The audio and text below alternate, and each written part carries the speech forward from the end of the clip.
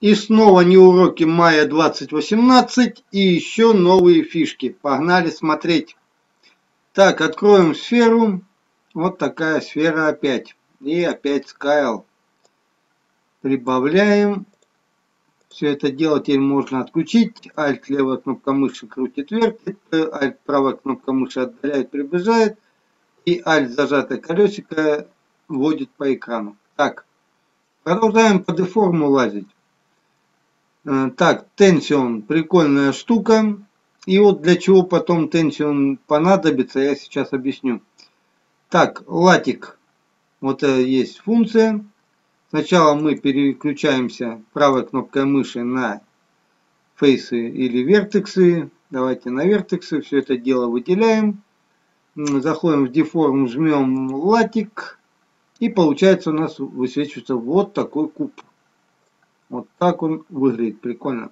Так, я сейчас отключаю сетку, чтобы не мешала мне. И вот такая штукенция. Вот так она выглядит сверху. И вот так она выглядит сбоку. Надо теперь ее как-то запустить, потому что если вы что-то захотите делать, ну, в принципе, будет двигаться все и вся. Надо теперь нажать правую кнопку мыши и выбрать Latic Point. Вот вы видите, что на латике теперь вершины выделились, и вот теперь мы с ними можем работать. Допустим, середину вот так выделим и попробуем с кайлом, ну как-то, не знаю, вот так что ли, чуть подтянуть, чуть где-то уменьшить, где-то может растянуть, ну такая штука получается. Теперь переключаемся на сам примитив и включаем транспоз. И вот вы видите, вылазит, залазит. Так, я подальше отведу. Вылазит и залазит. Вот такая прикольная штука. Как теперь ее сохранить, да? Вот когда вы нажали на примитив, жмете вот на эту функцию, называется она Delete by Tape. Все, удаляется именно вот этот латик и вы можете работать с этой сферой.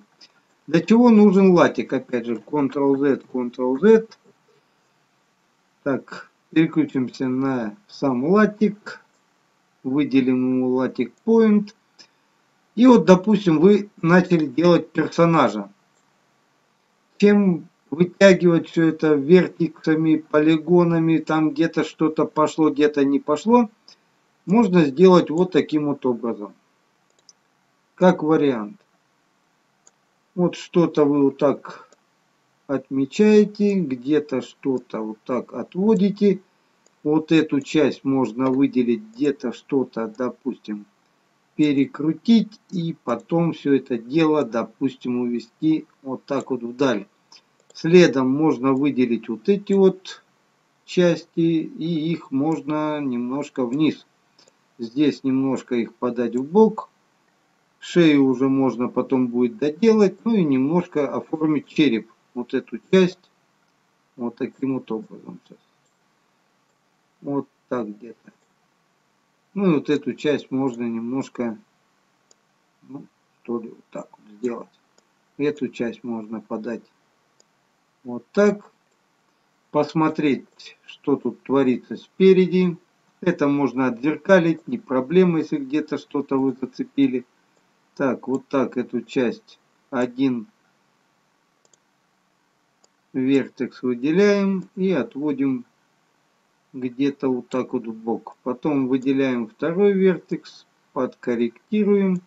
Ну, немножко можно череп подкорректировать где-то вот таким вот образом. Так вот, здесь где-то вот так. Опять же, делайте приблизительно, потом все равно это дело выдели, выровнять уже именно симметрия. Вот где-то вот так можно все подогнать, чуть-чуть подкорректировать. Вот здесь уже можно добавить нос. Здесь можно проработать челюсть, добавить уши, где-то что-то вытянуть уже в скульптинге. Ну, в принципе, уже болванка головы может вырисоваться прямо неплохая. Ну, а теперь жмем опять же Delete by Tape. Так, сначала переключаемся на примитив и delete byte. Вот такая штука. И все, здесь вы уже можете смело что-то делать, что-то добавлять. Пролепливать глаза, добавлять нос, рот можно уже нарисовать, челюсть чуть-чуть оформить. Это в этом вам уже скульптинг поможет. Вот эта функция и вот эти все кисточки. Ну вот где-то в таком духе прикольная штукенция. Для чего нужен будет в деформе тенсин вот этот? А это чтобы, ну, когда вы это дело все включите, перейдете, так, допустим, пока на вертексы, выделяем, жмем деформ и тенсион ставим. И уже можем работать именно мягко вытягивать. Вы видите, как мягко вытягиваются бока. Работать можно уже с симметрией потом. Где-то что-то вот в таком духе. Вот уже вырисовывается прикольный персонаж. Вот такая штукенция. Где-то включим сейчас, давайте попробуем симметрию по X. И вот так все это дело не хочет работать почему-то. Значит не по X, по Y, не по Y. Я сбил именно как стоит у меня модель. Ну ничего страшного. Ладно, потом разберусь. Вот так все это дело можете выдвигать, задвигать, корректировать. Так, чуть-чуть еще мягенько ее отведем. Ну а дальше здесь вам уже фейсы помогут. Можно вот наметить, допустим, через Shift. Так, что тут? Убираем пока транспоз. И через Shift можно вот так, допустим, уже выделить глаза. Где-то потом их подтянуть. Ctrl-E вы выбираете, ставите, подвисает у меня уже компьютер. Устал писать ролики. Вот выбираете Ctrl-E и, допустим, ну, Scale немножко все это дело вглубь вводите вот таким образом, вот у вас уже намечены глаза. Если вы перейдете, так, все начинает уже подтуплять, ну не беда, сейчас. Главное объяснить.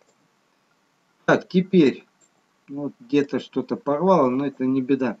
Так, теперь вертексы открываем. И вот можно теперь выделять, вот допустим, вот этот вертекс.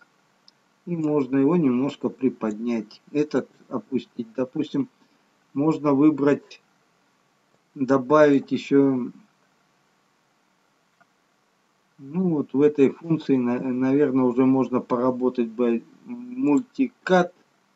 Добавить вот здесь уже какие-то лупы выделить нос и все это дело потом вытягивать. Вот такая штукенция. Все, заканчиваю ролик, потому что начинает у меня что-то тут глючить, подтуплять. Так, если где-то что-то у вас порвалось, опять же повторюсь, открывайте Edge, нажимаете на ребро, находите Mesh, и в Mesh можно Full Hole вот эту часть так вот так не хочет выбираться Object Mode AG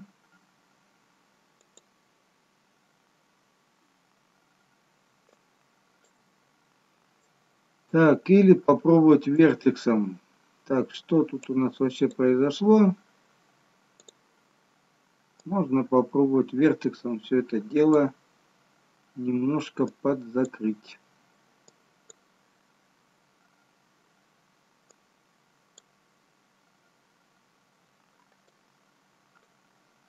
Нехорошая ситуация, но поправимая.